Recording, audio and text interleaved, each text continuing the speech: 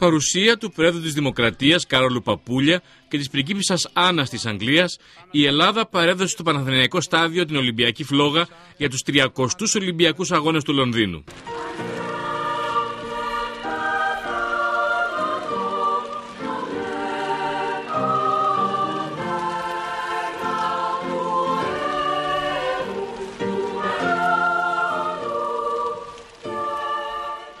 Στη λιτή και απέρριτη τελετή που έγινε υποβροχή στο μεγαλύτερο διάστημα, παρέστησαν ο δήμαρχος του Λονδίνου, Μπόρις Τζόνσον, αλλά και ο 37χρονο διάσημος Άγγλος ποδοσφαιριστής, David Beckham. Παιδικές χοροδίες απέδωσαν τον Ολυμπιακό ύμνο και τον εθνικό ύμνο της Μεγάλης Βρετανίας.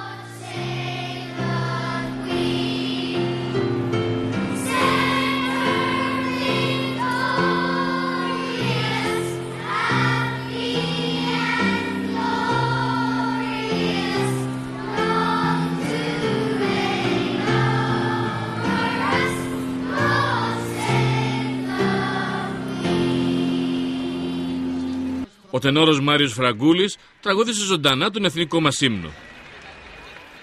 Σε γνωρίζω από την κόψη του σπαθιού την τρομερή Σε γνωρίζω από την όψη που με διάμετράει τη γη Απ' τα κόκκαλα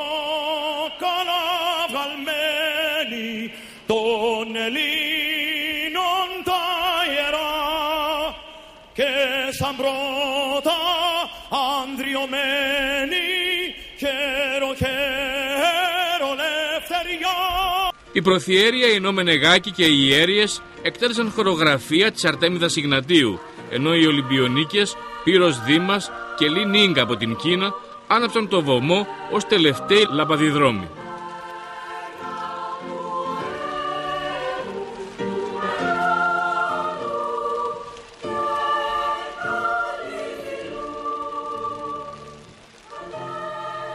Η Ελλάδα παραδίδει την Ολυμπιακή φλόγα στο Ηνωμένο Βασίλειο με συναισθήματα ειλικρινούς εκτίμησης και αλληλεγγύης. Τις δύο χώρες άλλωστε συνδέει μια παραδοσιακή φιλία και το Ιερό Φως είναι μια ακόμη ευκαιρία να ξαναθυμηθούμε τους δεσμούς που μας ενώνουν. Η τελετή ολοκληρώθηκε με την παράδοση της Ολυμπιακής Φλόγας από τον κύριο Καπράλο στην πριγκίπισσα Άννα της Αγγλίας για να κάνει το μεγάλο ταξίδι της προς το Λονδίνο.